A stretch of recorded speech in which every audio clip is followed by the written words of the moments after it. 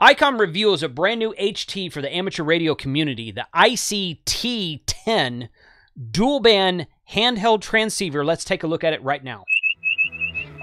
CQ photo, CQ photo, parked on the air, Charlie 5, Hotel Whiskey Bravo.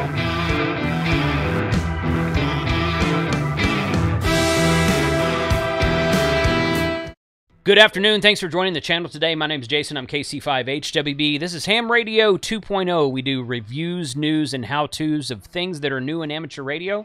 And this is a brand new radio. It's a brand new radio. I really like to do these reveals videos to get the word out about new equipment that's coming out in the marketplace. So today we're going to talk about the ICOM IC T10, IC Tango 10. It is a simple operation and great performance, is what it's advertised as. This article I found at the Southgate Amateur Radio News Source, which you can see right here. And they're talking about introducing the IC T10 VHF UHF dual band FM transceiver. ICOM has announced details of a brand new 5 watt VHF UHF dual band amateur handheld radio, calling their IC T10. It has built. It has been built to the high quality commercial spec that you would expect from ICOM.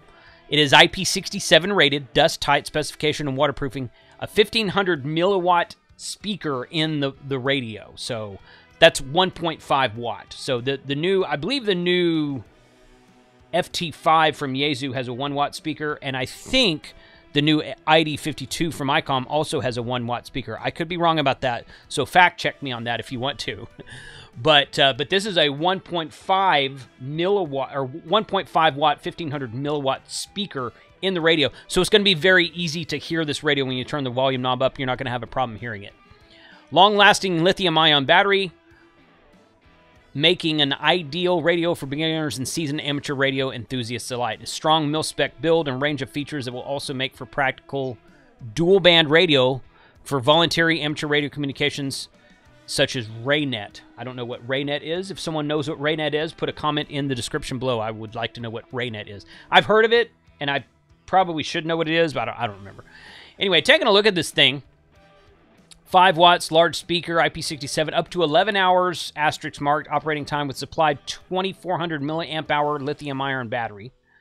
And it gives a little blurb down there 11 hours VHF, 10 hours UHF, approximately 1 to 1 to 8 duty cycle operation, etc., etc. It really depends on how long you let it listen, how much activity there is on whatever frequency or repeater you're listening to, and how many times you transmit as to battery life. So it's kind of up to up to 11 hours. Yeah, that's typical news press jargon, typical um, media press media release jargon. It's not. It's not. It's pretty common to see that sort of things. So FM broadcast receiver, built-in CTCSS, DTCSS, DTCS, which of course we would expect 16 DTMF auto dial memories. I don't see in this article here how many memories it has, how many actual memories in the radio where you can save memories to the radio itself. You can see right here it's got a pretty basic and kind of an older looking display to it. It's uh, what I would call a dot matrix display. It's the old type of alarm clock looking display. Similar to the new FTM 6000 mobile radio that Yaesu just released. This has got a very simple display to it. Looks like it only displays one band at a time. There might be a way to change that in there.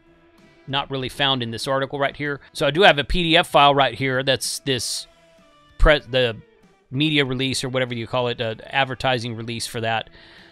So, home button, top panel for quick access, optional HM222 HLWP loud audio speaker mic, so you can get an optional speaker mic to it. IP67. Other features uh, down here at the bottom right, it says DC power operation with optional AD149H, so probably a cigarette lighter style adapter. Free CST10 downloadable programming software. Some people will ask that question, so there you go. It will have software that you can download for programming. Oh, there it is right there. Total of 208 memory channels with a six character channel name. Built in CTCSS, 16 DTMF. Priority program, memory skip, and tone scan direct conversion system. So 208 memory channels is not actually very much for this day and age. Uh, the the Yaesu radios and the current the ICOM 52, which is current and still in production, have about a thousand memory channels. That this is this is not going to be a top of the line HT. This is going to be a more moderately priced. I assume there's nothing in here about price at all. In fact, this article is linked from a UK website, icomuk.co.uk. And I'll put links to the article and to this PDF file in the description below. But if this is going to be a lower end, no digital, not as many bells and whistles as the ID52, which is like a $600 HT, which is good. Which is good, I think. I think that, that I think that ICOM is filling a niche here.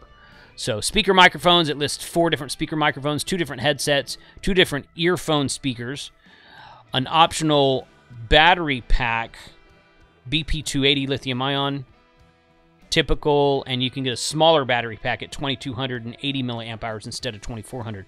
Seems kind of backwards, but okay, all right, that's fine. That's it. So it comes with the largest battery it can. It's a good way to look at it right there. Power supply adapter, which is a battery eliminator, it looks like style. Rapid charger, which is a desk charger, multi-charger. You're going to buy multiple ones of these. And then it's got some other information down here at the bottom of the page. So ICOM's got this brand new HT. It's about to come out. Moving back over here, it says we expect, uh, right here at the bottom of this article, we expect the ICT-10 to be available this summer. We will confirm cost and availability as soon as we have them. So don't we don't really know at this time what it's going to look like cost-wise.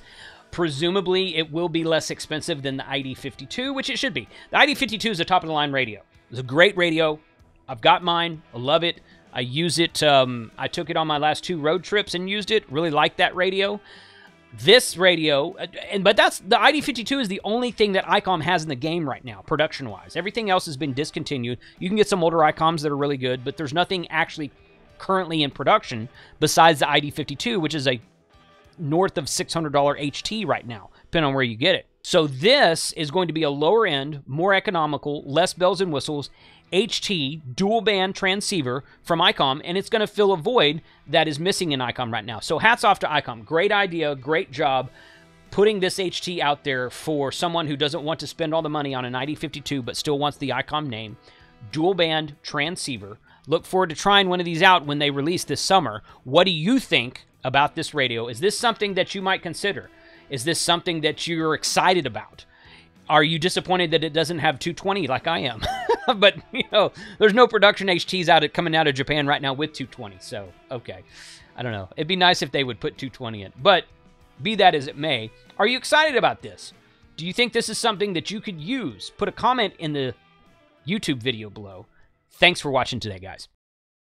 ICOM reveals a brand new H. No, no, no, no, no, no.